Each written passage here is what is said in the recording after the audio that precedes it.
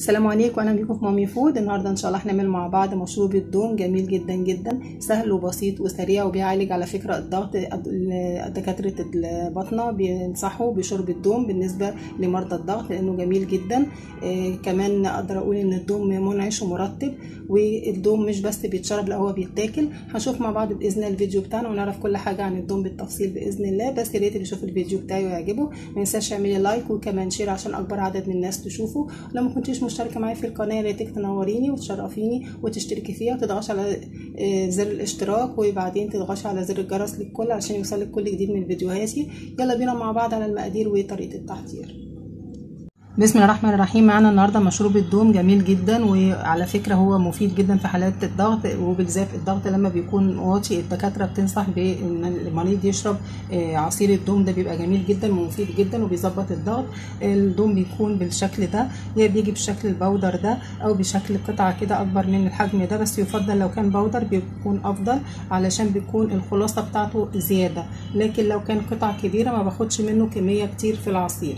بمعنى إن لما بيكون بيكون powder وبيغلي معايا وهنعرف دلوقتي مع بعض الطريقة إزاي ان أنا بعمله وبسويه على النار. ان أنا باخد ال powder بتاع الدوم أو قطع الدوم وابدأ ان أنا انزل بيها. بسم الله الرحمن في حلة عندي كده بتكون فيها كمية مناسبة من المية معايا ربع كيلو من الدوم البودر يفضل يكون بودر زي ما قلت لحضراتكم كل ما كان بودر كل ما كان تركيز العصير أعلى. لأني هاخد خلاصة كتير جدا منه لكن لو كانت قطع ما باخدش منها خلاصة عالية. تبقى العصير بتاعها بيكون مش مركز زي العصير بتاع الدوم البودر وده ربع كيلو معايا هنزل عليه بكوباية من السكر العادي خالص وأبدأ أقلبهم مع بعض. وهرفعهم على نار متوسطة. وهسيبهم يغلوا مع بعض كده ياخدوا يدوا مع بعض من تلت ساعة لنص ساعة على نار متوسطة علشان آخد أكبر خلاصة ممكنة من عصير الدوم.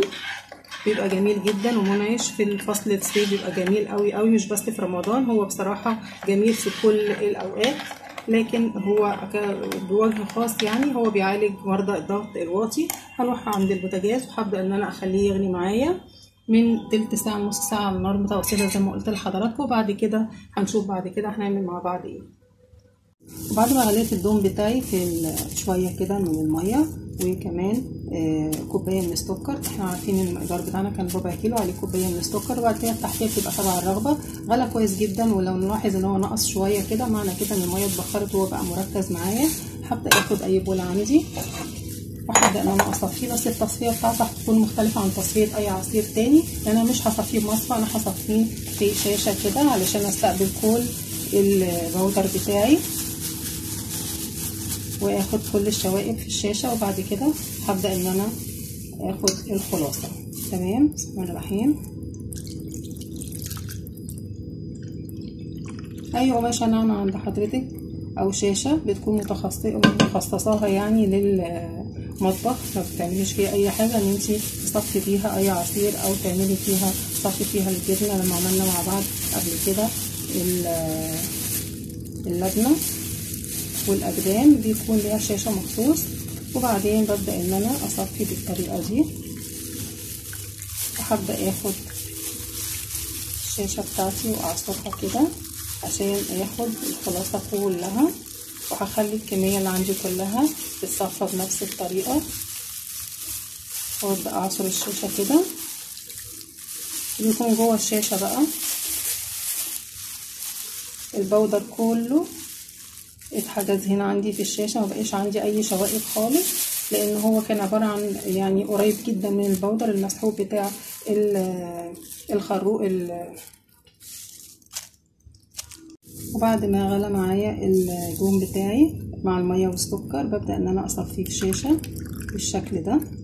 طيب ليه مش بصفيه في مصفى؟ لأن هو كان قريب جدا من البودر ومعاه شوائب ما ينفعش إن أنا أستخدم مصفى لأن لو استخدمت مصفى هتعدي منها الشوائب الموجودة مع البودر ومش هيكون العصير بتاعي بيور مش هيكون نقي. فعشان يكون نقي بحاول إن أنا اصفيه في شاشة بالشكل ده.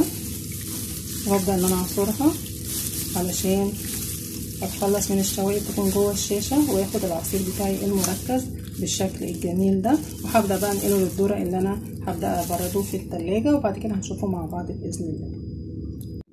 إيه رأيك بقى في مشروب الدوم بتاعنا؟ جميل وسهل وسريع. على فكرة ثمرة الدوم دي ثمرة بتكون إلى حد ما ناشفة وبتكون جافة جدا وبتنمو في الأجواء الحارة وبتبقى لطيفة جدا طعمها حلو على فكرة هي بتتاكل مش بس بتتعمل عصير بس هي بتتكسر بمطرقة أو بمدق كده علشان هي بتكون ثمرة جافة جدا وناشفة جدا وبيبقى جواها قلبها كده بيكون في زي نوع من أنواع النوى الضخم شوية الناشف لكن هي في شكل إجمالي أو ب يعني بشكل عام هي بتبقى جميلة جدا جدا سواء كانت اتاكلت أو تتعمل عصير بتبقى في منتهى الجمال. أتمنى يكون الفيديو بتاعي عجبكم. اسيبكم في رعاية الله والسلام عليكم ورحمة الله.